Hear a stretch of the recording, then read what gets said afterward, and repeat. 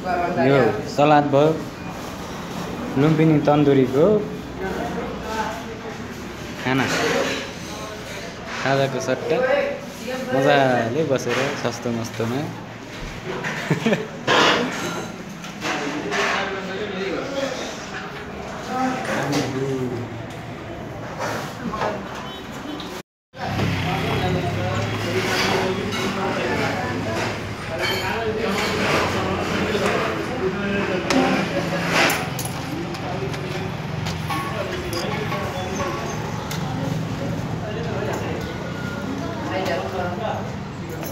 माटोको भाँडा होइन?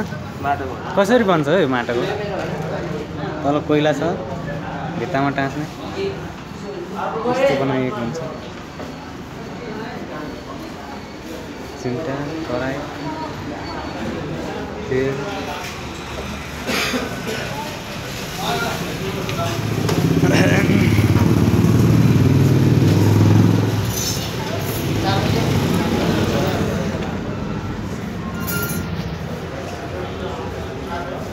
लगाउनै हेरौँ एउटा हजुर ए